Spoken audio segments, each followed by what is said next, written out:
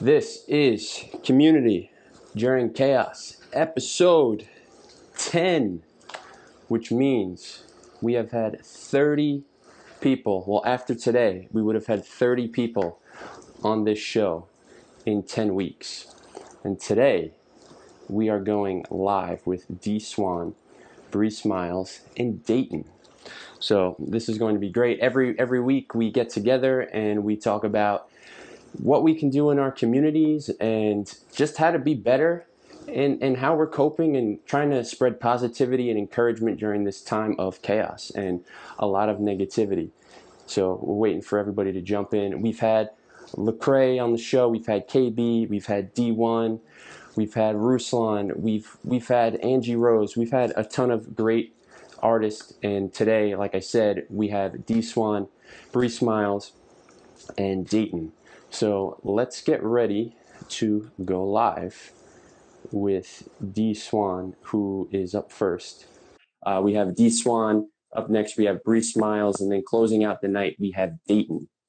So, my first question to you is with, with everything that's been going on with, between COVID and civil unrest and just overall craziness in this country, um, how have you been able to get through it and, and cope and, and just you know, be a light out there. Um, during this time, like what's been helping me a lot is like being uh, really grounded in, in the Word of God.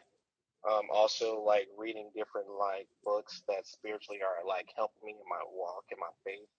Also, having uh, yeah. check-ins like that was actually a New Year's goal of mine was to uh, this year in 2020 was to contact people more and check in and just see mm-hmm. how people are doing. It's um, important. And I did not know that we were going to have a pandemic like this. It really helped me to like and like really do it like consistently and diligently um, during this mm-hmm. time. So um, things on that end has been dope. Um, serving at my church has been great. We've been doing the uh, the mobile market at my church, uh, Hope Church in St. Louis. Pastor Greg is a pastor, giving out free essentials, um, food, and awesome. to people, placing it, uh, just giving it for, away for free every Saturday. Uh, it's been great for doing that. Civil Righteousness, my man JT, um, Freedom, my DJ, uh, a couple other guys from the city. We all uh, will meet and do like different like prayer walls uh, in the city. It's awesome. Um, so getting with those guys and getting poured into is always like a great rooted thing. So that's how I've been able to like like get through this time, and then just like I said, uh, checking in, definitely checking in with people because uh, a lot of us artists we're getting hit heavy because of this because a lot of our mm-hmm. income comes from touring and performing and sure, like yeah, yeah. So since we're not doing any of these things, a lot of us started to like get into those lanes where we're like, man, Lord, I don't know how my next bill is going to come through. And some mental things start playing with our heads, but just trusting God through the process and trusting that He's going to take care of all our needs, like He said He would, according to His riches and His glory. So. Yeah, and I think it's important about this check-in thing because you think about yourself and you think about. I, I know for me personally, during this time, every everybody's kind of like locked up you know, away. No one's traveling, and you're like, man, like, I wish I wish I was around some friends right now. I wish I was around some family right now. Uh, you know, how come, you know, no one's checking up on me? And then it's like, well, why? How come I'm not checking up on anyone? Or what if the people that you think should be checking up on you are waiting for someone to check up on them? Um, so it, it's kind of like you kind of have to be have some sort of grace during this period to be like, yo, everybody is going through something um, and and you know we're in an unprecedented time. So just trying to reach out and and say hey how you doing? is is really important. Even if it's even if you don't feel like it should be you that's doing that. Right because you never because you don't know really what's what's really going on with people. Like i i had a chance to like talk to people and found out like man like i got laid off my job bro. Yeah. I'm like wait what? I thought she was good you know and I got in conversations where I hit up people and say, "Hey man, are you doing okay? Just want to check in with you." Hearing like situations where people's like, "Hey, you know, I got COVID," and they became those mm-hmm. texts became prayer opportunities. You know Right. I mean? And then vice versa, if I was going through something like, hey, I'm having a moment, like I, I need some prayer, bro. Like, can you help me at this time? And and getting that same energy, that same that same Right. thing in Right. return. And it just keeps uplifting each other like at those times. Like that's what we're supposed to do as the as the body of Christ is help each other and uplift each other and then share that same love to those who are non believers as well. So Yeah. um just those check ins, like man, it does a lot for sure. And you said you were doing a lot of stuff with your church and within your community. So for you, what has been the most, I guess, rewarding or or fruitful thing that you've seen come out of all of that? Mm, like it make you appreciate the stuff, the little things. Like Mm, like just wearing a face mask now. I appreciate when I don't have it on, when I'm at home and I can breathe air. I'm like, man, like yeah. I can actually breathe air, you know, or just seeing people like just come through the prayer, like through the lines to get food and they're asking for prayer. And, and we're hearing like, man, we didn't know how we were going to get our next meal. And we Wow. happened to be on Facebook or we happened to be on IG and we saw that you guys were giving away all these essentials and you don't realize it helped me at that time. Or hmm I wanted to be a part of something that uh, that's pushing the you know Christ's agenda and prayer and things like that. And I saw about your civil righteousness movement that you guys were doing in your city, and I wanted to be a part of that. Not even a Christian. There's people that came out there that are not even Christians, Yeah. and Yeah. Yeah. became Christians because of that. That is re- that is that is an awesome thing, and that's been so fruitful for me is seeing people getting blessed during all this time, and God is just shining through all of this. That's that's been so fruitful, like to me, honestly.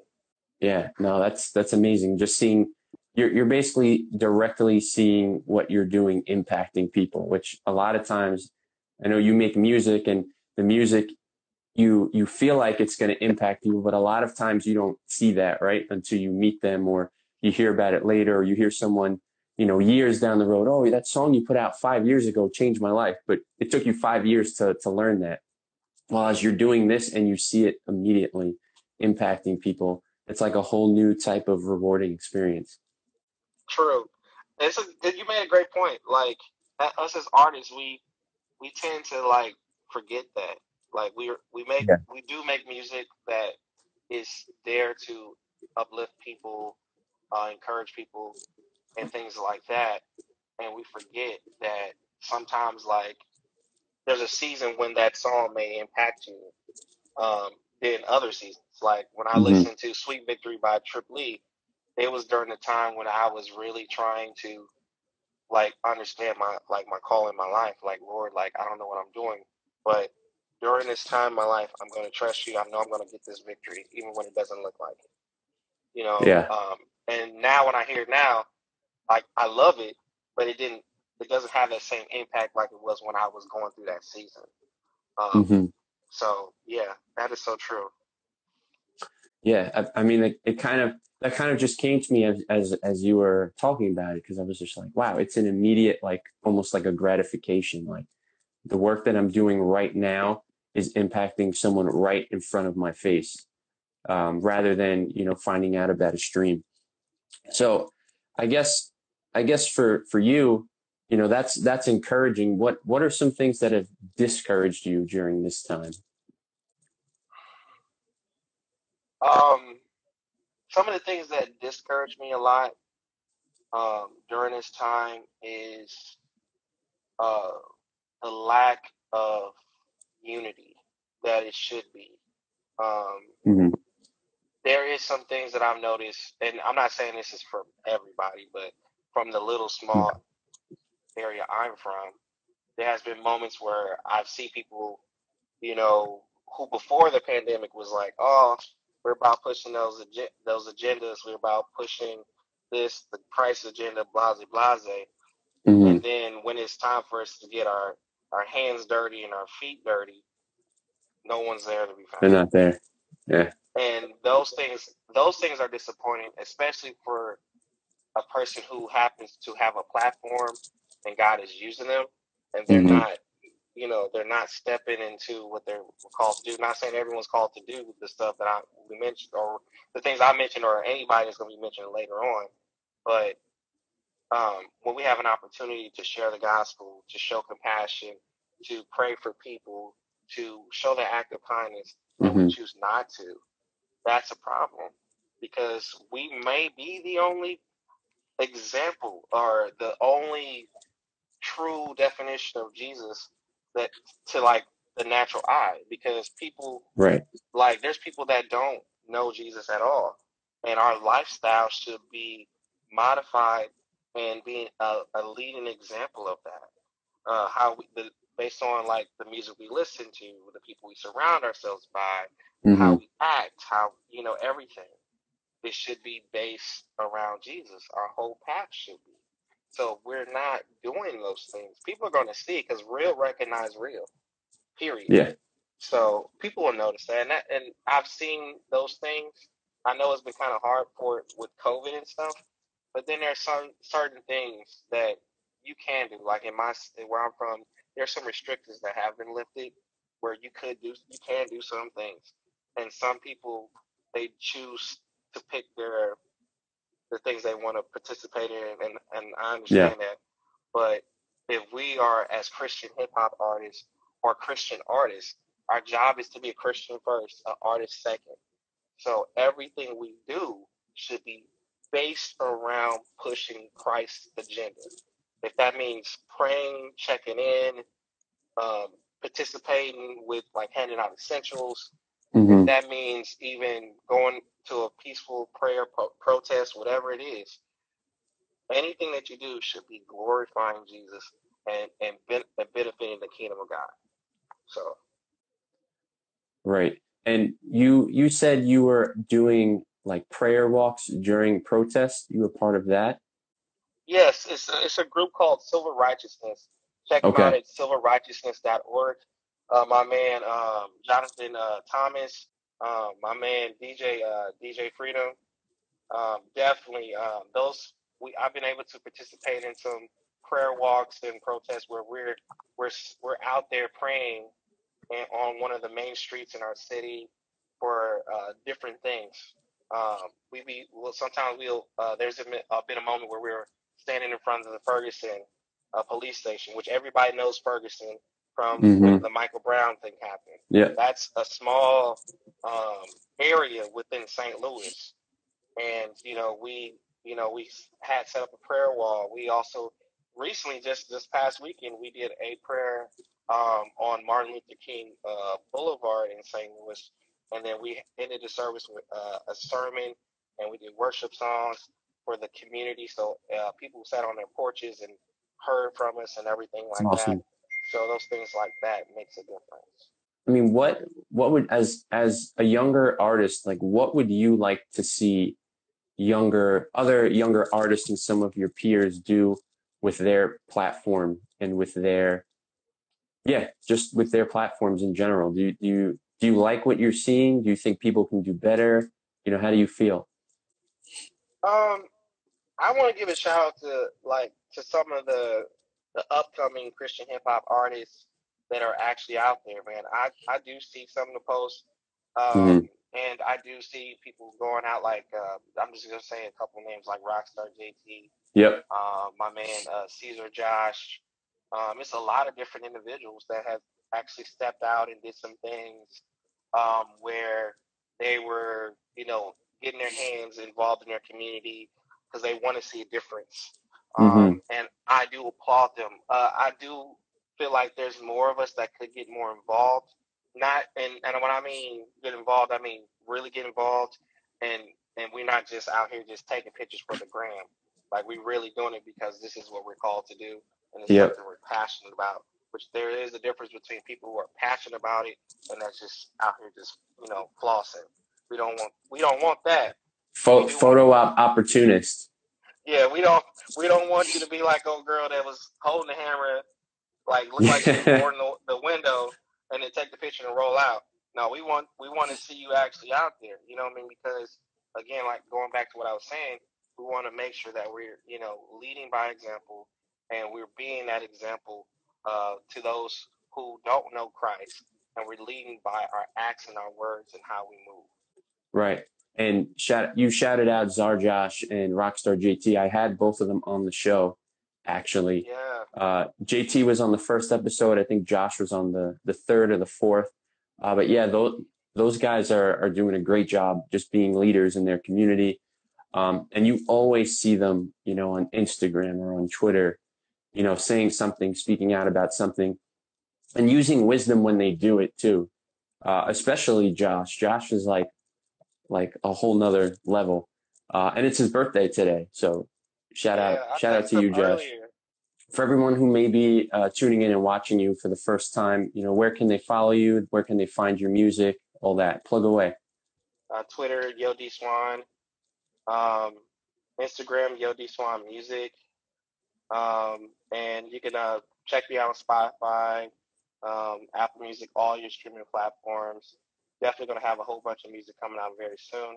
I see like there was like two questions that came up, and I, I Yeah, I, I see one. How do you respond to the division that may be going on amongst the body of Christ during the season? And how do we get into the right position where God wants us to be? So that, that's going to be your closing, your closing statement. Mm, that's a good question. Um, to answer that, I believe the division between the body of Christ during the season, how we fix that is getting to putting Christ as the center and not the religion. Because people get the confusion that religion is the no. It's Jesus, that's it. And if we put Jesus as Keep it, keep it simple. yeah, as long as we put Jesus as the center of our focus and make him the priority of everything that we do, we're going to have a better understanding and be and draw uh, that unity. We may not agree with everything, and that's okay. But we would understand and come together to put our differences aside hmm to remember that our sole purpose is to get, you know, see Jesus again and to be the fisherman of men. That that's it. So that I think that's that's the only way I can answer that question. I hope I answered the best. All right, man. Well, thank you so much for joining us. I appreciate you coming on.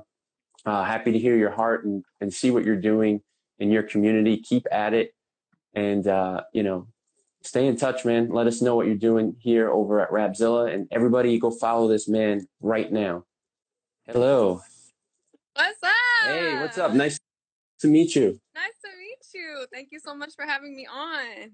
How have you been during all of this chaos? COVID 19, civil unrest, protesting, rioting, um, division in the country. There is a lot of craziness going on.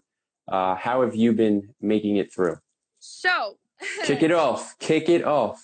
I mean, there's a lot to say. Um, we're living in a very detrimental hour, and I think that for we we as the body of Christ, we need to take off what we see in the natural, and we need to fixate our spiritual scope. And what I mean by that is is that we're living in a very spiritual time right now. hmm I know what the news says, I know what the government says, and I, but God has said something long ago, and if you know your word, then you knew this was going to happen. And so the remnant should be using this time behind closed doors to refine and define who they are and what they represent in this hour. And that's exactly what I've been doing. Um, I've been sharpening my sword with the sword. Every day hmm I go into my word and I make sure that I'm harnessing a word to give to his people. You know, um, it says in the word that we are in this world, but we're not of this world. You know, hmm so it's culture that we are indoctrinated by um, has been strategically assigned and designed to change the the the biological DNA of our psyche and infiltrate our psyche with Luciferian doctrine. and I can't give it to I'm not a person that hits with, you know, little taps. Like I I I'm coming in for the blow. Now's not the time to um, play around. We need to call out the enemy for what he's doing and who he is so that way we hmm can ourselves to fight this battle. You know? So I am a woman um in a a, uh, a the authority that I've been given to as a woman. yeah, I call it the queendom. You feel me? We do kingdom works, but I, I'm a per, I'm one of the ambassadors of queendom, and um, you know, with with trending topics like you know, like WAP that's going on right now. I'm a voice of the counterculture. Um, we have a lack of example of women that are calling things out for what they are, saying that's not right, uh, it's not right, and um, speaking something, speaking a word of hope, of love, and encouragement, especially to our young girls. Um, my heart bleeds for how Yeah. the media indoctrinates the people. So there's a counterculture and there's a kingdom culture that is assigned to speak words against that because we know that we fight against principalities. We know that we fight against dark forces in the air, in the airwaves. You know what I mean? Designed to to to construct our thoughts and implant something in our minds and a demonic doctrine. And so things that I do and the assignment that I that I have is um to be a culture soldier against culture vultures. You came in. You came in with the fire. I don't know if I don't know if everyone was ready. Uh, I see. I'm I'm going to skip right to somebody's question in here because it it seems like a a good question. How do you? Oh wait, I lost it right when I was about to read it. How do you know when and how to respond to certain trending topics on social media? Uh, and how do you know what's distraction and which to address? And I think that fits in perfectly with what you were just talking about. Absolutely. Um the Lord, I'm gonna okay. You asked me, so I'm gonna answer. Um, I only talk about what I know about, and I know a few things. You know, I don't, but I know a few things. So this morning, you know, while I was getting ready, I always, you know, I seek the heart of the Father. Like, what do you want to tell your people, Lord? What do you want to say to these people? And um, you know, I've been studying my word like crazy, bro. Like I've been in my word like maybe four, five, six hours a day. Um, it gives me peace. It not only Mhm. arms me, but it gives me peace. And the Lord told me to say this. And a lot of people won't say these things, but I'm gonna say it. So people think that the Bible is some type of like archaic manuscript that doesn't apply or that isn't relevant to today's culture and society. And that is a very um, deceptive misconception because we are we've gone through this before. we've gone through this before. So you got to study it and the reason why we're supposed to arm ourselves with the word is because history dictates, you know, where we're going to go where we're going in our future. You know, we have these demigods and we have these idols that we worship and yes, we worship them. And but they've been around for a long time. Back in Mhm. the, back in, you know, back in the biblical days, they called them the Baals. They called him um, they worshipped Moloch and they worshipped Asherahs. Okay, I, we could talk about Moloch and Baal in another conversation, but right now I want to fixate and focus on the Asherahs. Asherah, back in the Roman days and in the days of Nebuchadnezzar, they were poles that were erected and they were sex gods, they were fertility gods, and they carried a feminine energy. Actually, Jezebel, she worshipped the Asherahs, Mhm. and they were in the form of poles, right? When God had the apocalypse that hit Rome, it was because they had turned their hearts so far away from God. And they were so indoctrinated with pagan culture and with pagan religion.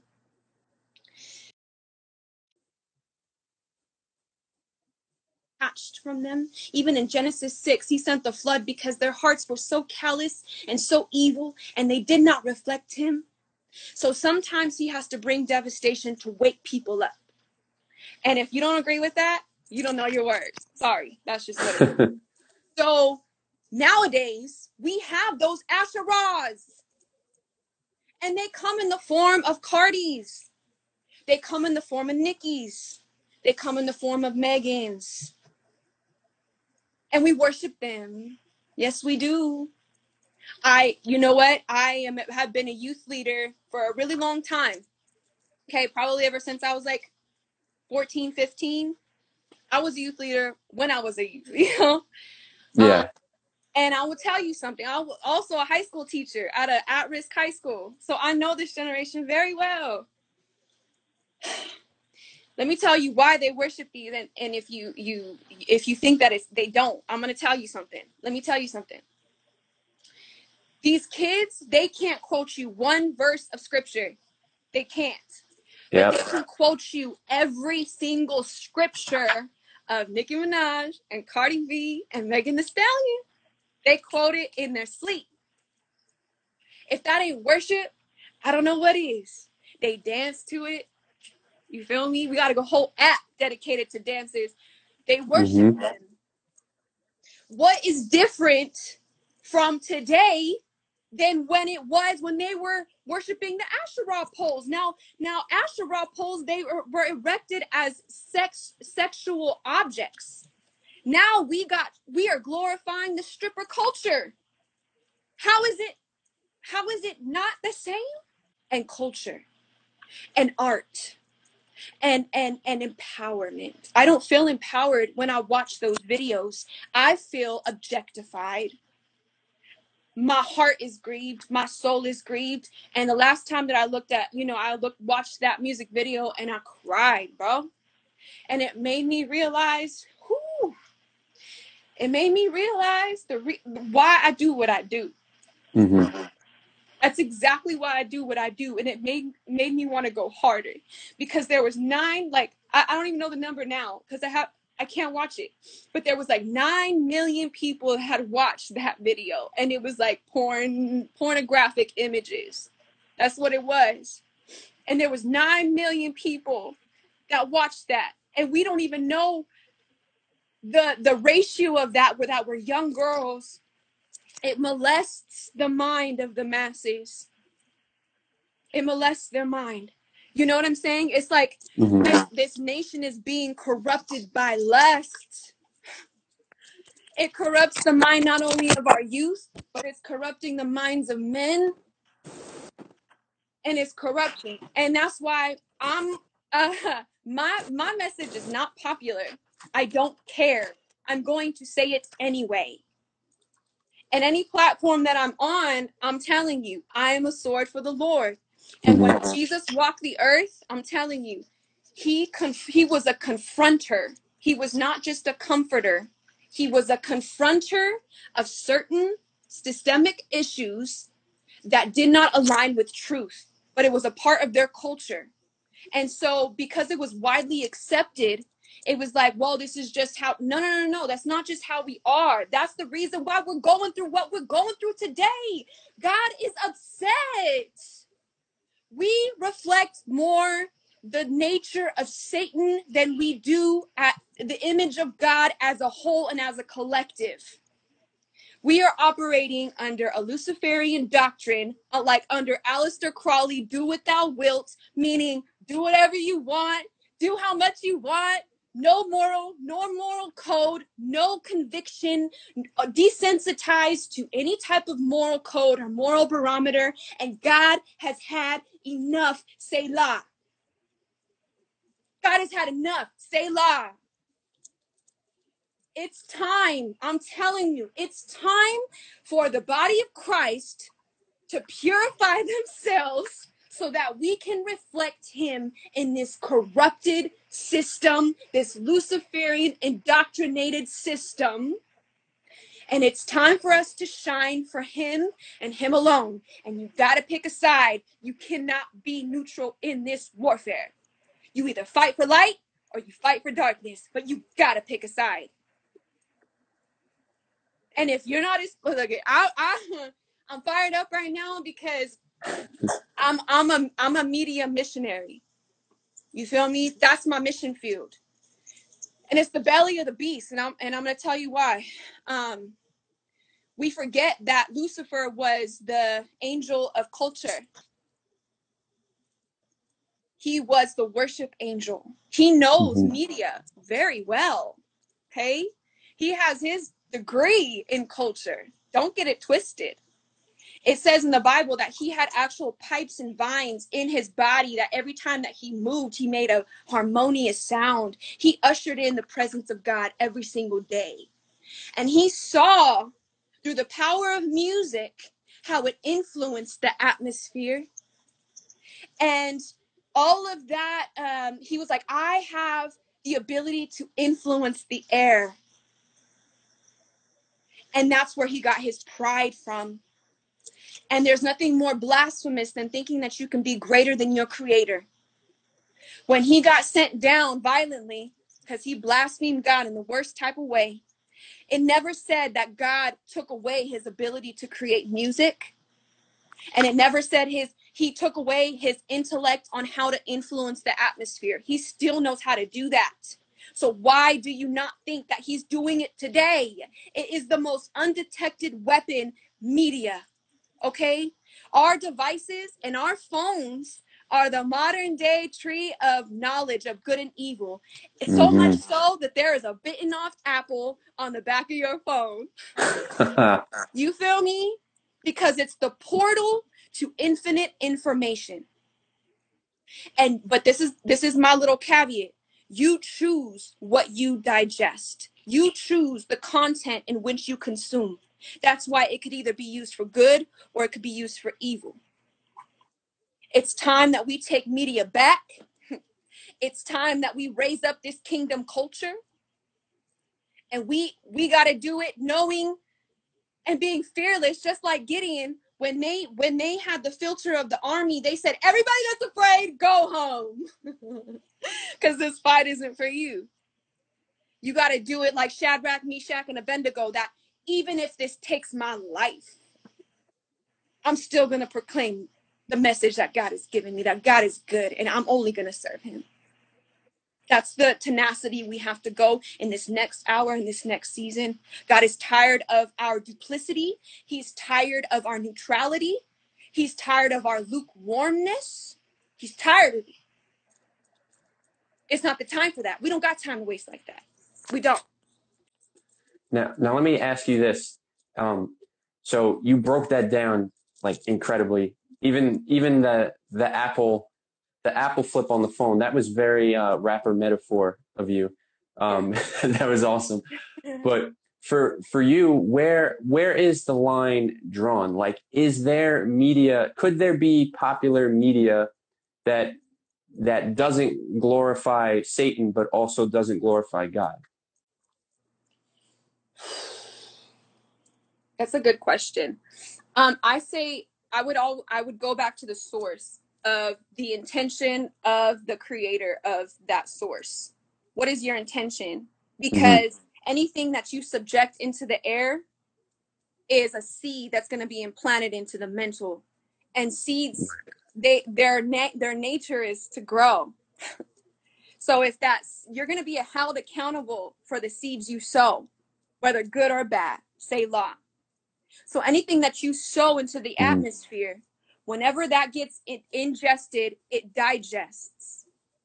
So if you're if you're a content creator, be aware of what you're creating because you are creating a seed for the soul. And you're going to be held accountable for the seeds you sow. Plain, line, simple. Yeah, and, and I think it it kind of gives you room to get pushed to a certain way. Because how many artists do you see come up very innocent, very kid friendly? Like you think about a, a a young Taylor Swift or even a young Miley Cyrus coming out as innocent little girls, and then as they went along, they got raunchier, they got you know heavier, like and just they just continue to like go on that on that upward trajectory. Um, so yeah, even the most innocent things tend to get flipped into into awfulness uh, because that's just kind of the expectation. Oh, they'll they'll grow into their sound, meaning oh they'll grow into what's popular and what everybody wants to see, um, and that's that's sad.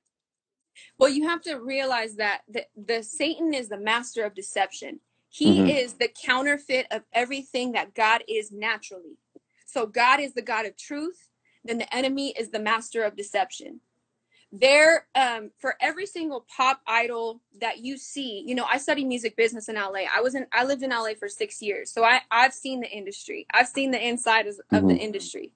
I've seen a lot of things, and that's why I only make music for the Lord now. Yeah. Um, but there is a there is an agenda for every single um pop idol demigod i'm gonna call it what it is. Pop idol demigod asherah that you see today. And I, do you know why uh, when you sign a contract i took a, a contracts class um, for music business and music law. So in music law there is a, uh clause in a in a contract when you sign to a label and it's called name and likeness clause you know there's a lot of people that say oh you know when you go when you make a certain amount of money or whatever you sold your soul to the devil okay whatever. Your soul's not yours to sell. God ultimately dictates where your soul goes. But what you hmm can sell and what is as powerful as selling your soul is selling your image Right. Your that has likeness. a price tag on it. You know why? Because when God created you, He created you to be the image of God. Now, when you sign that clause of name and likeness, you sign your God given image away to a system. And now they have designed and orchestrated a image that they want you to reflect. And let me tell you, it is anything and everything but godly. Take a look at WAP. That's what hmm happens when you sign your image away. You become a modern day Asherah. Point blank, period. Now, do you think things like this are here? Well, obviously, I know the answer is that these things are a distraction to what's really going on in the world. But when you see things like um, the civil unrest and the protesting and then rioting that happens and then the, the arguments about police brutality and, and all these things going back and forth and how, how that plays in the media, Yeah. what are your what are your thoughts on that? A divided house will not stand. That's what I think about that.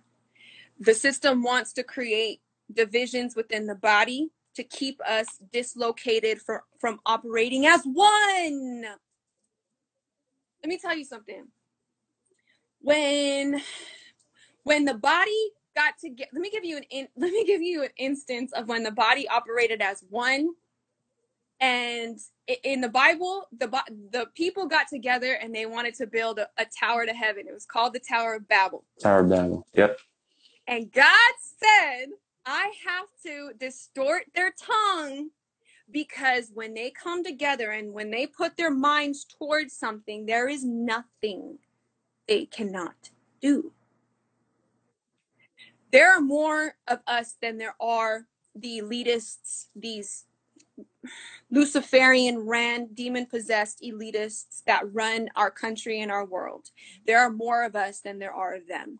This time, Selah has been taken out for those elitists to be exposed for what they are and what they are doing and giving us time to refine ourselves so that we can con- conquer the powers that be but we hmm cannot do this divided Right. we are one body we are one blood the pigment in your skin is just um, wherever you were geographically placed in the beginning of time. It was uh, there was a certain amount of melanin in your skin to be able to handle the geographic sun that was in your region. That's Yep. it. And the system took that and they say we can create division with that difference. And they have. And It's we bought crazy. into it. We bought into it. Racism is one of the biggest scams ever placed on humanity. Not saying that there isn't real trauma and there isn't real history behind all every type of it pains me. I'm not I'm not dismissing that at all. What I am saying is that they have created racism to be a division in the body to keep us divided so that we don't stand as one to defeat them. They are afraid. Let me tell you something. They are afraid what happens when the body stands and moves. hmm Someone said uh, we better be recording this. This is recording. This is live. And this will be this will be posted uh, right on the Instagram after this, and then I edit it, and it'll be a podcast. It'll be on Facebook. It'll be on YouTube. Come You on. can watch this. You can watch this anytime you want. That's what it is. And in the beginning of Soldier, I say, um, we're all brothers underneath the skin. You know, it says in the Bible that um, men judges by the outward appearance, but God looks inwardly at the heart of a man. hmm You know what I'm saying? I bleed the same color red as you bleed, brother. I bleed the same color you bleed, sister. They want us divided because when Jesus was here, he said, I have come to make them one. It was one of his missions. They've been struggling with this forever since the Jews and the Gentiles. They've been struggling with this. You know what I mean? But when we we call out the enemy for what he is and what he's doing to the people, he's exposed. That's how we're able to fight back. Now, I, I heard that you also do a lot of street ministry and that you're you work in in Compton. Is it? I've I've done I've done street ministry all over Cali, so like everywhere. So um yeah, I've done it in Compton. I've done it in my home city. There's a lot of homelessness in my home city, so Mhm. I've um, fed the homeless in my home city. Um, street ministry out here. Uh, I uh, I'm I'm very much about being with the people, looking them in their eyes, and you know, relating and empathizing with their hurt because I know who I am without God, hmm and I, there's nothing cute about my innate nature. I go hard for the Lord because of what He's done for me. Like Paul, I've had a real encounter with Him and His transformative work. I know what He can do. I was. I never judge anybody on the street. I never judge anybody that's addicted to drugs. I don't I don't ever judge anybody that's addicted to alcoholism. I don't I don't judge nobody for for none of those shortcomings because I, I I've been there and I was only a couple of decisions away from being that homeless person, from being that crackhead, from being I was only a I was only I know my nature. hmm The only thing that keeps me aligned and aligned is the Holy Spirit. And I want people if God can do it for me and if he can do it with Paul and if he could lead a whole spiritual revolution the way that he did with Paul you know um to and Paul stood up and was like yes I I am that Pharisee that killed Christians for a living and I love to do it. And actually the government's the one that hired me to do it. I am that man. However I had an encounter with God it wasn't in the form of religion because he was one of the most he was considered one of the most religious um, teachers and learned ones of the time. So it didn't hmm come via religion; it came via encounter. We don't need another religion, bro. We don't need sermons are great and they're they're there to get you get fed by them. But what we need is a real encounter personally. And let me tell you, the one, let me tell you, everybody that's listening now and that will listen, God wants to have an encounter with you, a real one, not via tradition, not via your grandmama, not via your pastor, not via your religion, not via none of those things. He wants to have a Damascus experience with you. I don't care where you where you are. Paul was on his way to kill Christians. That was his mission. So don't ever judge somebody's road because you don't know what God is taking them to. He had a, an encounter with the Lord on his way to kill Christians.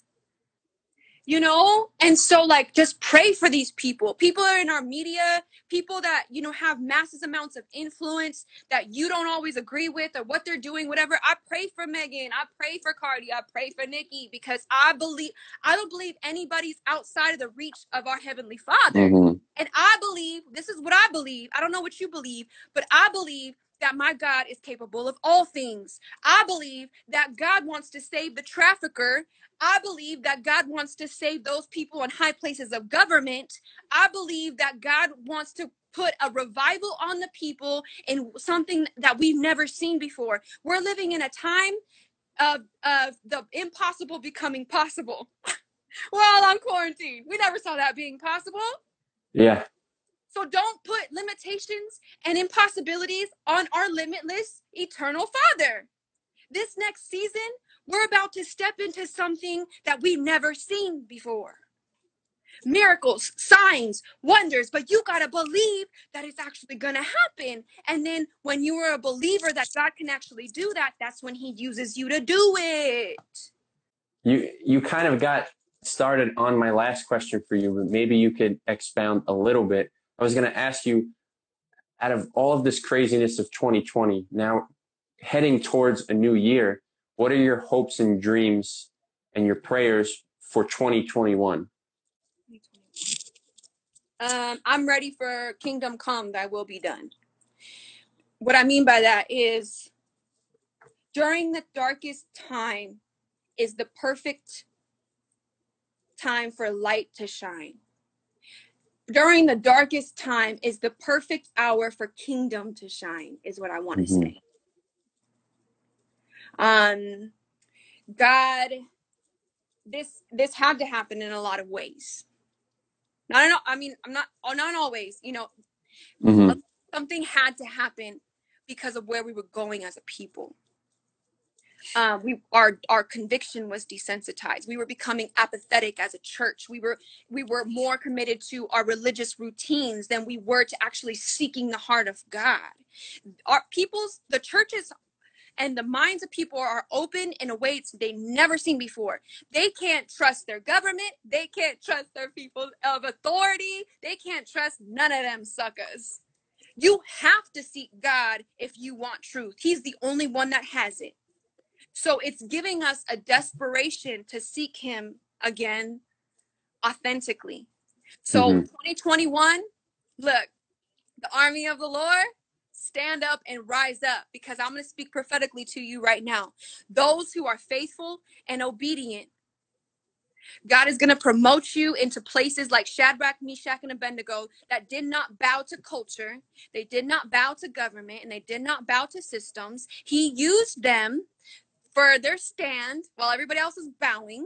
He used them and put them and po- po- uh, promoted them into places of power, position, and authority, into the government, into worldly worldly systems, because everybody was like, "I cannot deny that you serve the one and true God."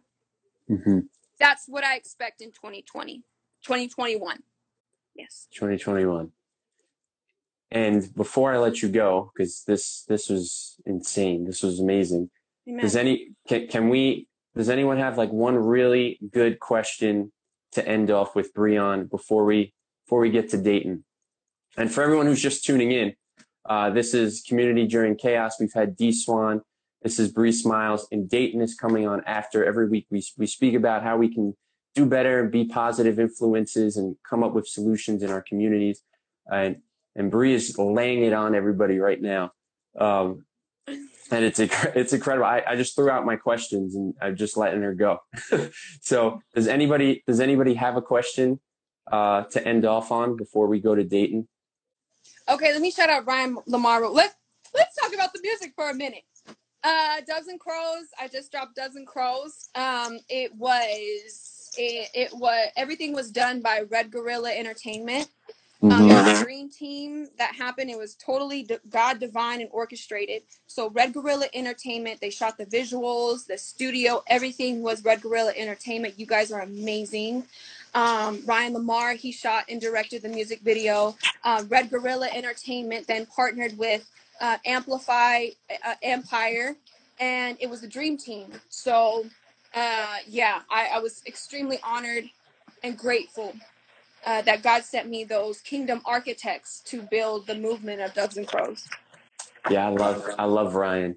Um, okay, here's Ryan's question, and this will this will be your closing statement. So, how is God using your ministry to push the word, and how are you sounding the alarm? By being unapologetic in truth. Um, I know I know the the need for truth in a dis, in a deceived society. I have spotted the enemy for what he's doing to the minds of our young people and the minds of the masses, and I'm calling him out. I, I'm in warfare every single day, war because you have to realize that God is battling for your soul, but so is Satan. Don't get it twisted. This life is a mere vapor. We have an eternity that awaits us outside of this life. Where will your soul go? That's what Doves and Crows is all about. At the crossroads, we know another song, Meet You at the Crossroads. It's the same thing. When you're Mhm. met at the crossroads, will you see doves or crows? Where is your soul going? You know, and not a lot of artists are are willing to call things out for what they are. So I'm apologetic in um, being a warrior for the Lord, a sword for the Lord, a culture soldier, and I'm gonna do it until the death of me. Jesus is gonna be on my lips. I can't be bought by the system. I don't have a price tag. My image will always reflect the, the Lord, no matter what platform He puts me on, and that's just what it is. Where can everybody find you, follow you, listen to your music? Oh, okay. Real quick. Um, so link with me. I know I'm like I, I I'm ha- I'm like growling right now or roaring right now, but I swear I'm a nice person. Um, link with me, uh, Bri Smilez. That's B or Bri underscore Smiles with the Z underscore, and that's where all the links to everything's at. So yeah, connect with me. I love connecting with people. All right, Bri, thanks so much. This was great. Thank This you, was man. this was a good this was a good first first time talking to you. They always say first impressions. I got a first impression. This was good. Awesome. Thank you so much for having me on. I don't take these uh these platforms or these discussions lightly, so thank you. No, thank thank you for bringing it and Yeah. and staying and staying real. I appreciate you. Appreciate you, man. Have a good night. Bye. Bye. Yo. Yo, son, I don't even know why we gonna do this. She said everything that that you could possibly say. Drop mic, it's over with, bro. She killed that mug. Yeah, but you're a freestyle champion, so you should come up with Oh some nah. you should come up with some other things. I'm really I'm watching her. I'm like, yo, what's left to say? She said anything, bro. But I know. That was that was amazing. I was like, I It told. Datin 945, but I see him watching, so I know I know he's gonna be all right with this when we go when we go late. yeah, I was thoroughly entertained and blessed by it, bro. It was amazing. So for for everybody tuning in, for for everyone jumping in on Datin's live, uh, my name is Justin. I'm here with I'm the editor of Rapzilla. This is Community During Chaos. Every week, I speak to three different artists about what they're doing in their communities, trying to be leaders, coming up with positive solutions and answers during this chaos and craziness that's going on in the country and around the world. And Dayton is guest number 30 on this show. A nice a nice round number. nice even So- number. So with everything that's been going on from from COVID to civil unrest to to uh, protesting, uh, rioting, um, political craziness, you know, how have you been using this time to to just get through life? Man, uh, I'm trying to figure everything out just like everybody else is. I ain't got the answer, Mhm. Sway, but uh, uh, you know, it's uncomfortable. It's different. Um, when this this has revealed to me that sometimes habits like you can you can get into a swing of doing ministry. You can get into a swing of your daily routines routines i should use that word. Routines are, are need to be broken and and you need to relearn how to do things sometimes. So a Mhm. lot of my routines from ministry to how i function day to day is has been disrupted and ruined so i'm just trying to figure out new ones you know what i'm saying i'm talking about all the way down to eating Yeah. habits working out how how do i now that you know i'm a street minister i'm used to traveling and Right. be, getting flown in to be a part of other people's ministries to to help to contribute, to sow seed, to minister. Now that that's stripped away, what do I do? Do I sit on my hands or do I, you know, you would think that with all of this extra time, um, I heard Bri say, like, yo, I've been in the word five, six hours a day. God bless her. I have the time to be in the word five, six hours a day. I find myself struggling with being more distracted than ever with more time on my hands because that routine has been stripped away. Yep. No, I get that. And Yeah. I know I know that you just from knowing you personally, I know that you're someone who, who doesn't like to stay silent on things when when anything comes up. I see anything that pops off on Twitter or Instagram or something, and I was like, oh, here comes Datin. He's coming in. So so with, with everything going on, how how do you make sure that you're of you know the right state of mind to comment on these things and try to be a leader in the community? Well, uh, um, my answer may not be satisfying to everybody. Um, first of all, I take this stuff personally because I have myself experienced police brutality. It's a trigger for me. You know, it's like uh, my PTSD kicks in when I see it, right?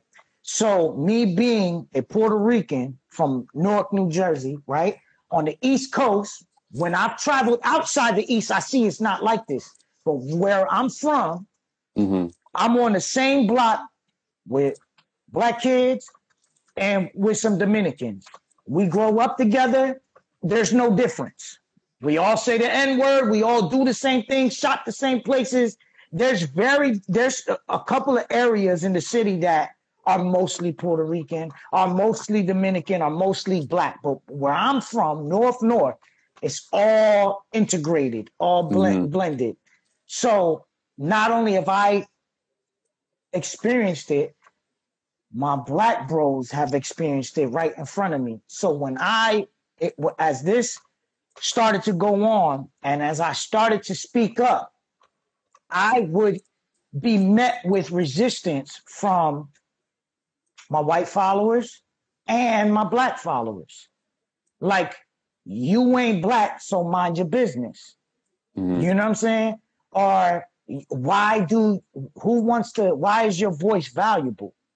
And then, you know, just to be flat out, I'll go click on their page to see what they're talking about. And it's like a freaking suburb black dude and all his pictures, he's with a bunch of white kids in the college. Like, yo, fam, you're we're from two different just because you're African American. Yeah, Yeah. just because you're African American, you ain't you ain't been where I've been. So for that f- because of those things, it's been frustrating to me. So I have to pick and choose. I got to choose my battles wisely. So me being so vocal about it on social media, I don't know if you've noticed, I've kind of took a couple steps back. It doesn't Uh, mean that that I'm sitting on my hands, but I realize that not everybody understands the context in which I grew up. You know what I'm saying? They don't understand that because where they're where they're from, brown people are uh, they they're on their side and they don't integrate. Neither do they show that they care. You know what I'm saying? Especially people from the West, like out west, they, it, there's racial wars. When I went out west and I found out that black dudes ain't like Spanish dudes, I'm like, what for real? And Mexicans don't like Puerto Ricans and Chi- and Asians don't like. I'm like, yo, this is like racism times ten out here. They Yeah. deal with that every day. Uh, Where I'm from, it ain't like that. We all together. We in the same projects. You know what I'm saying? So, um, understanding that and knowing that not everybody understands my position, I kind of like, you know what, bro? Let me just fall back and stay shut for once because will my voice add any value or will it just be thrown into the chaos and cause more confusion? Like, Right. That's important. Yeah, you you have like such a niche like experience yeah, as, yeah, as yeah. far as far as things go. yo, bro, and when you're on the east, you think your experience is like everybody else's. Like, Yeah, so when when I'm out in Chicago and I'm saying and I'm dropping the N word, they looking at me like, or when I'm in Detroit, I remember you know being with D12, and one of the the the, the first things Bizarre said was like, look, this is two things you do before we go upstairs. Don't be banging your hood and don't say the N word. We like, what? Why? Like, we Puerto Rican, but in their context, it's only white and black in Detroit. So if you ain't black, you don't use the N word. Like, so I, I started to see as I traveled, like, yo, it's not like that. And then you tend to forget, you know. So right now, as I speak up, I've I've been in the same comment section, like Right. been challenged by white dudes. Oh, you doing this for the clout, trying to be a social justice warrior, and then it's the black dude like, why your um, why is your voice important? Who the heck are you? But then you know, I got some of my black bros in there defending me, like, yo, shut up, bro. Like, you know what I'm saying? So I was just like, man, this this I think this is doing more damage as far as social media Yeah. speaking up than so I'd rather just put my hands to the plow than just be Yeah, it's it's like it's like Bri said towards the end. Literally, our whole world and culture is shaped by where you were born and why your skin color wound up that way. Yeah. And that's how that's how we've delegated millions of people all over the world just because of something so so simple and some really so dumb, just as that. Um, it's it's pretty wild. Now, I feel like your track "Top Speed Running" is pretty prophetic. You got some Mhm. prophetic words in there. Um, so, can you maybe like break down your verse and apply that to what's going on now? All I hear is fake news, fake news. Democracy is an illusion. Presidents are puppet statues. So I'm very vocal about that. You you got your pro Trump, you got your pro uh, uh, this dude. I'm neither Democrat or Republican, right? I pray for whoever, whatever leader is put into office, whether Democrat or Republican. But I I do not just because you have some traits or some some of your policies are in alignment with some of my beliefs if it's not all i i can't co-sign it i can just pray i feel like yo democracy is, a, is an illusion where we feel it, like choosing we we think we have the ability to choose but you're only choosing from the pot that they put in front of you you got eh, a- choice A or B. You know what I'm saying? So Right. that's what I meant. I bet you the comments are gonna light up because everybody disagrees with that. But this this just my beliefs, and I feel a piece about it. So You're getting a lot of hearts right now, actually. all right, So, I'm cool. so So, this- I, this is a show of love. This is Yeah. this this is episode ten. If they don't know the deal by now, then I, I- then I don't know what everyone's doing in I gotta go walk over there and make sure it ain't my wife on the on the phone, and and you know she's tuned in and pressing. That's all all them hearts. right. That helps. We take we'll, t- we'll take all those hearts.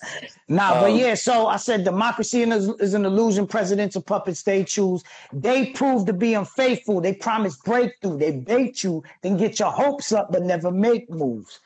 While the poor people struggle just to make do, the rich get richer. They be grubbing with their plates full. They're not for the people at the they're not for the people at the bottoms where they place you. It's always in their favor when our leaders legislate rules. Together we're a force, but that but that ain't the case, dude. Bring up politics, we get to acting like the apes do, picking sides left and right, arguing debate views, fighting over people that don't love us. So disgraceful. You know what I'm saying? So Sounds a lot like what's happening yeah, yeah, and yo, and. I wrote that. I wrote beforehand. I know you wrote that way before. I wrote that before COVID went down and all of that, bro. That's that's why I wanted to ask you about it. And I was going through your your Instagram, you know, getting ready for my questions and my research or whatever. And I saw you posted that semi recently. Um, and I was like, yo, this this album came out a while ago. I was like, this is this is crazy. And also, you know, every time I get you on an interview, I always get you to rap something. And you're the only one. You're the only one. I like I like con you into into rapping a whole verse about, about something. I just have to do it. Um, so have you have you been able to actually do anything outside of using your platform whether it be going to protest or being part of like community dialogue, you know, even like a food, giving out food with your church, like just anything like yes, that? yes, yes. Yes. Definitely uh, uh, giving out food with my church. Um, definitely loving on the people. Um, as far as the protesting, I got to join Urban D and and um Mhm. and and uh, uh, crossover church out in Tampa. He's my only connect. I'm new to this area, so Yeah. I'm still not plugged in. I still ain't get up with Loso. I still ain't get up with the local rappers. I ain't get up with KB. I saw KB there. That's it. Like I still ain't make my rounds. That's how new I am here. So um yeah, I, I got it in with them. We prayed for the community. Um and now moving forward with my church and all and and all that, we there's some plans that are going to be made. Um aside from that, no. Aside from that, no. I'm I'm trying to figure this thing out. It's frustrating to me because in Orlando, right? Um, I was I just when I started to get plugged in, then Yeah. you know I moved. Um, and then in Jersey, it, it's it's the epicenter over there. It's ground zero. So it's like I can't even go back and get active because nothing's popping out there. You know what I'm saying? They're shut down. Yeah. This whole Um, New York City area is just Yeah. like, I know you're, you're very familiar, obviously, with New York City too, just being from Newark. And you're talking about like nobody in Times Square, like being able to drive from Staten Island into the city in 35 minutes instead of an hour and a half. And yeah. it's just, it's wild just to see. Yeah. It's like a ghost town. I'm I'm actually going uh back up north for the first time in a long time on Saturday and going to see what happens while we over there. You know what I'm saying? We're going with with a, a, a purpose that's not that doesn't have anything to do with protesting or anything like that. But um as I go out there, as I link with my bros, we're gonna see what happens. You know what I'm saying?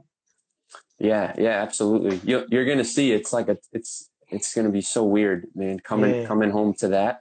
Yeah. Um, so where, where do you feel that, that just from your observations that Christians in the church can maybe do a better job when like there's a whole community in turmoil? Uh, I, I think some people need to withhold.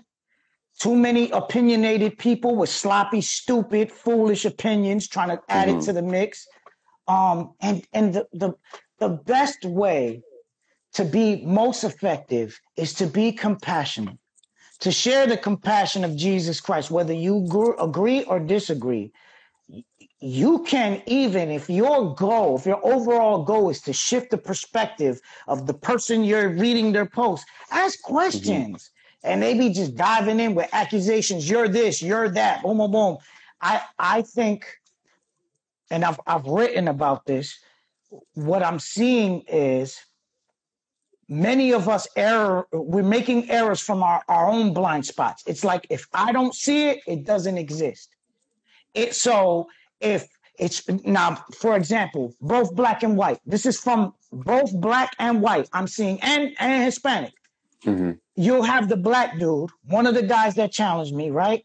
And i i promise you bro i go on my man's page who's challenging me he doesn't have one picture with another african american besides his parents in one it's it's all white folk. He goes to praise God. They love him. He goes to a, a, a predominantly white church. He's like me and my church brothers. You know what I'm saying? And it's like he's like the only black dude, and uh, he doesn't experience this. He receives genuine love from white folk who who love the Lord. They love him. Uh, he probably lives in a, a predominantly white area and doesn't experience racism. So his attack towards me was like, yo, you're feeding into the agenda. This is Mhm. lies. This racism doesn't exist. I'm black. You're not. Shut up. And I'm like, my dude, like, yo, I'm from North New Jersey. I, I've, bro, I've seen how, first of all, there was no, I never went to school with a white kid. It was just black and just Puerto Rican. And then later, Dominicans came. It was just us. No Mexicans, no, no, no. I can't even remember an Asian kid, right? All the teachers, mostly white. All the cops growing when I was growing up, mostly white. When we went to the next town over, Belleville, that had all the cool stuff, and we wanted to get away from the hood, we would go to Belleville, that's a predominantly a white town, and we would experience racism. You know what I'm saying? Especially, especially my black bros. There's a, a there's a tier to this racism thing, right? Mhm. There's even a Hispanic privilege where it's like, oh, you know, I'll take the beaner over the black dude. Like uh, he, he- I'll give the Spanish kid a pass before I will the black dude. And I, I could, I, I remember being pulled over by the cops. I hope I'm not rambling. I remember being pulled over by the cops and clearly seeing a difference between how they treated me and them. They were still mean to me. Put your hands on the car. And then to my dude who's who's six feet tall with dreads, put your mother mm, hands on the, mm, woman, slapped him up. Like, what? What? What he do that I ain't do? Why he getting slammed up? So, anyways, there's there's levels to this thing. And I've seen it firsthand. So to tell me it doesn't exist, you look absolutely stupid to me. You look stupid. You look foolish. You're you're you your ignorance is on display. So consider that. Consider other other people's experiences may not be like yours, and ask questions, dialogue, be sympathetic towards them, be compassionate. Your brothers and your sisters are hurting. They're hurting. Imagine how traumatizing it is. Look at this, right? I got PTSD. Whenever I get pulled over by the cops, my heart beats and everything. And I gotta remind myself, bro, I ain't riding dirty no more. I ain't got weed or coke that I'm selling. I ain't got no pistol. None of that. That's that's years ago, right? Yeah. But it's the PTSD. I freak out like how I used to freak out. But I freak out because I don't want a ticket and I don't want like, oh my God, they're gonna catch on. Oh, and then I calm down. Oh, I'm I'm legit. I've never got pulled over and had to worry about will I die right now? Will they kill me right now? Right? I got Mhm. bros that are twice the men that I am, as far as being established, family men, good guys, ain't got the temper I got, love the Lord, like I aspire to be like them. And they get pulled over and worry about will today be the day I get shot by a police officer? That's a reality. So you know how disrespectful you sound when you say it's just an agenda, it's all a lie? That's disrespectful. That's mad disrespectful. That's people's realities. You know what I'm saying? And Yeah. just because you don't know any of them, don't make you right. No, absolutely. And I have like, I have a totally relatable on that because look at me and, and look at you. I'm also, I'm Puerto Rican also. We look entirely different. I'm very white looking. I walked into a room with somebody like, oh, look, look at the tall white kid, the six foot two white kid. Why, why is he wearing a Puerto Rico hat? And like totally different person. I have a ton of family. I have a, a huge Puerto Rican family. They all grew up in Newark and, and Bloomfield. So that whole area around you, which is a totally different place than Staten Island, where I grew up around all white people, had maybe like two Puerto Rican friends my whole life, but that also grew up around white people. And I can go with my cousins in Bloomfield or Newark, and it's a totally night and day situation, like you're talking about. I'll never know what it was like for them to experience things growing up because this is the way I've been raised in Staten Island as opposed to Jersey. Um, Yeah. So I totally get that. Yeah, I got when when I had my little situation with the police officers, it was with Bloomfield Police. And and Bloomfield, there's a lot of white people. It's mixed, but it's not as bad Not as as, as, as Newark. Newark. Yeah, not it, it's not as bad as as Newark. So when us Newark kids come out of Newark and go into Bloomfield, we getting checked, we getting pulled over, we getting frisked, we getting beat up. You know what I'm saying? Yeah, no, that's wild. Now, for for you, I guess for anyone who's kind of going through it right now, uh, just unsure of how to cope or what to do, like what would be your word of encouragement for people going through this time? I would say, man, if we get a proper perspective of life's purpose, right? um, then what goes on over here, every obstacle, because obstacles will come in different forms, but you'll know how to brush them off the same. Your Mhm. life is but a breath. You're here today, you're gone tomorrow. What matters is what's to come. What matters is what's to come. And and you will find out what's to come depending upon depending upon what you you've made your God while you're here, right? Trust in the Lord, right? I said this on my Instagram the other day because I was in Second Corinthians chapter 11, and I'm I'm watching Paul talk. I'm reading Paul. He's talking to to the Corinthians, and there's the mm-hmm. part where he starts to list the things that he's been through, like oh those super apostles, they're they're they're Hebrews. Well, I'm even more. And then he started. I got I got a, a, a stoned. I got beat with rods three times. I received 39 lashes five times. All these things he's went through and why didn't he give up? Why didn't he just say, Oh, this is hard times. I can't deal with it. Why would God let this happen? His eyes were fixed on the goal. He was pressing on what was ahead, pressing towards what was ahead. So, all those difficulties that came, I'm sure he faced racism. I'm sure he mm-hmm. faced persecution. You see it, beatings, near death experiences he will shrug them off. That doesn't minimize your pain, right? If you're going through pain, you're going through these things. It does not minimize your pain. I'm not saying shut up and brush it off. Mourn the mourn these things, but keep your eyes fixed on the goal that is ahead and pursue Jesus Christ because this you can spend your next 10 days bitter Mhm. and mad at God and mad at, at the world because things don't look how you want them to look or things are hard right now. Die and spend an eternity in hell because you've made yourself your God and your emotions your, your God. Um, okay. Somebody said, talk about how bad idolatry is and how it can affect your walk. Idolatry comes in many forms. It comes in, in many forms. And if you think you have this definite definition of what an idol is, that's how an, another idol will sneak in. Your idol can be, uh, you know, from materialistic things to a person in your life to your own ideals, your own ideologies. You know what I'm saying? Um, even false doctrines. So of course they take you off. The enemy is cra- way craftier than we give him credit for. The the most holy, omnipotent, all-knowing God allowed uh, the the writer in the scriptures to write that the serpent is crafty, that the devil's crafty. He's far craftier than we would give him credit. So, um, man, always check your your your your heart every day for idols. And if you you're saying you don't have any, you're lying. You, I, I feel bad for you because there's a blind spot because I have to identify them every day.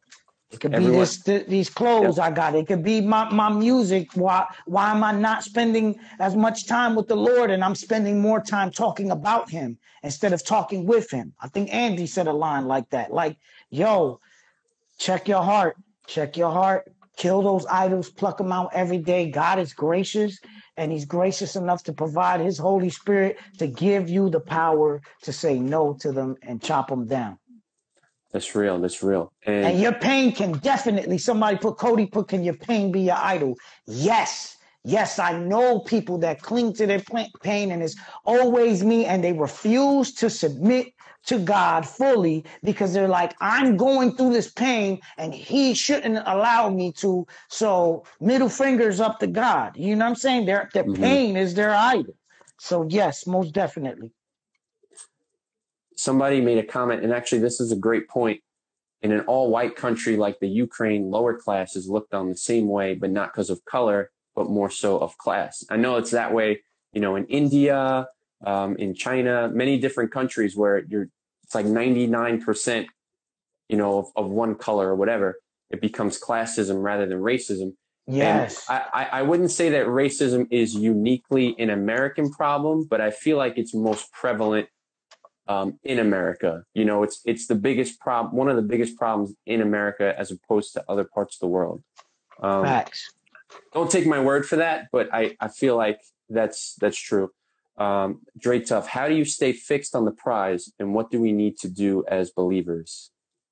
Well, the good thing is, like, yo, I don't think I got the answers on how to stay fixed on the prize because for it is God who works in you to will and to act according to your good to, to his good purpose. That's what, what the scripture says. I think that it's just like in order for me to be operated on, I just need to show up and the doctor does the work. Show up, lay on the operating table, and the great physician will do the work. Um, so you just need to show up. That means hitting your knees. That means reading his word. You know what I'm saying? Do those those duties. Never forsake the fellowship of the saints. These are key things. And as we do these things, God is rewarding, man. I just went to go eat with with uh, uh, two couples from my church yesterday, and man, it's just like we was eating, chopping it up, having fun, and then like maybe 15 minutes turned into this real godly conversation, mm-hmm. and I feel like wow, that was extremely edifying for me. And then my wife receives a text from one of them like, "Yo, we love y'all. We were definitely blessed." So God does something when we're, we're, it says when two or three have gathered together in his name, he's there in the midst. There, there's he's always with us. We have his Holy Spirit. Mm-hmm. You know what I'm saying? He's always with us. But something amazing happens when we congregate together, and that's why we're instructed to. So as we do these things, these things help you fix your eyes on the goal, on the mark of what you need to die to some of those ideas. We need to die to some of our religiosity. Some of us need to retrain and relearn God because we've been taught about the Lord in such a toxic way. You know what I'm saying? Mm-hmm. So um, some of those things need to die, and those ideas need to submit to Scripture. If they don't look like Scripture, yo, do away with them. And then you need to be open to, am I reading scripture from the lens that they've already placed on me? My pastor, my my denomination, my they've placed this, my friends, and now you're seeing what they're preaching because they've taught you how to see it like them. But now when you read scripture in its context, right? Sometimes we do, I'm just gonna do a chapter a day. That's not, I mean, yo, do that over not doing Nothing. anything. Yeah. Right? Deal. Because I started like that. I started like that. People be like, how you know scripture? I will read 15 minutes at lunch. That's how I started. But anyways, so read, read a book. Read the, the, the whole entire book. So you're getting the full context. Sometimes your eyes need to do away with even the headlines in your Bible for the next chapter. Do away with that headline because you're already reading that that chapter through that lens. Read it. Just read it all together. Let it flow. You just like, man, you know what? What Pastor said don't make no daggone sense when I'm reading it in its context. You know what I'm saying? Right. That's good, man. Shout, shout out to my pastor. That's not an issue, but yeah, you know. uh, what does the 11th hour mean to you? And how do you fish for men in the dark season? Um, man, the 11th hour is, is, is, is the next minute, the next minute, the next minute. I can drop dead right now of a stroke. You know what I'm saying? Of uh, I oh I'm when I got saved, I was handed war clothes, and that was the 11th hour. And it's been 13 years since. And I'm gonna live every minute like it's the 11th hour. Uh, that's what that means to me. Being saved, you're in the, in the 11th hour. You know mm-hmm. what I'm mm-hmm. saying? Um, and what was the next question? Uh, how do you be fishers of men in the dark? Yo, in the darkness.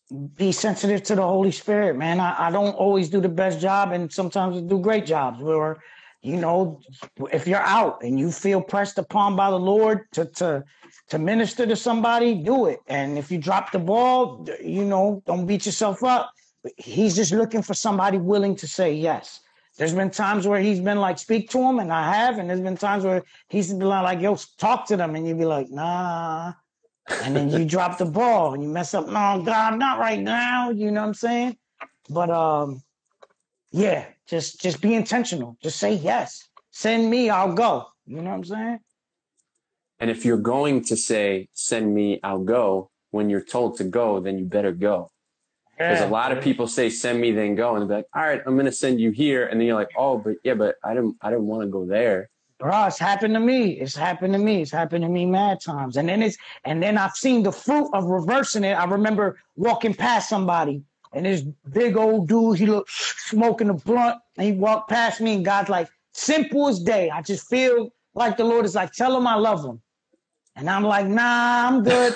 and I walk right past dude, right? And I'm I look like a herb. I'm dressed at, for work. I had a, a button up and khakis, and I'm like, bro, I'm not trying to talk to this dude. I walk past him, go to my work van, and I repent. And I'm like, God, I'm sorry. I'm like, man, Lord, if he's there, I'll stop the van and I'll tell him. And sure enough, I pull I pull around the corner and my man is sitting there smoking a blunt. I'm like, dang. So I just pull over and I'm like, look, bro, it's gonna sound mad weird, just like that. Now, no, excuse me, sir. I'm like, yo, bro, this gonna sound mad weird, but I promise you, I'm not no weirdo. But uh, Jesus loves you. He got a plan. He got a purpose for you. I'm thinking in my mind, I got to go into some like theological discussion or really try to witness. But that's all he said, right? All he said to do. I tell him Jesus loves you. He got a plan and a purpose for you. And you know he's been calling you, but you've been dodging him. He goes, Yo, God really said that? And I'm like, Yeah. And he was like, Dad, man, thank you, bro. I do feel like God has been calling me. Wow. So I'm like, yo, I take off, and then you feel like a million dollars because you were obedient. You know what I'm saying? Yep. So I've seen when you question, like, yo, I'm gonna sound stupid. This is gonna sound stupid. I'm gonna be rejected. And then look at his response. You know what I'm saying? So I should have got his number. I punked out. You know what I'm saying? Like, yo, let's exchange numbers. I, I'm just not good with strangers like that. There's probably Yeah. fans in here that showed up to, the, to my merch table and I'll be awkward sometimes. Like, eh, it all depends on my mood. If I'm in control of the atmosphere, I'm blah, blah, blah, blah, blah. If I'm awkward, I'm awkward. Like, hey, how you doing? All right. You know what I'm saying? Here's the last question from God Here's the Humble, and then I, I will let you go. Uh, how do you think God, being no respecter of persons, I'm assuming you mean just doesn't care about what you look like, relates to Black Lives Matter slash the woke movement? And what would you say to those in and out of the church as it relates to that? Uh man, I got too much to say about that. Um, so if he's no respecter of persons, that that's the argument for a lot of people that want to denounce the sentiment of Black Lives Matter, right? I think like yo, let, let me let I can't stress this enough. I don't care what who it offends. Yo, Mhm. the organization Black Lives Matter could kick rocks. They satanic. They satanic. I spit on it. I don't want nothing to do with it. Right? hmm But but the sentiment Black Lives Matter. There's people I know who are screaming Black Lives Matter that know nothing about the organization. Right, right. You feel me? And I feel them. So if you're going to use God is not a respective of persons to denounce Black Lives Matter, so what? Is he a respective of persons on the opposite side for for the the white community? Because all the Black Lives Matter is saying, hey, hey, we feel like we're not, we don't matter, and we're just here to remind you that God is not a respecter of persons. So we do matter too.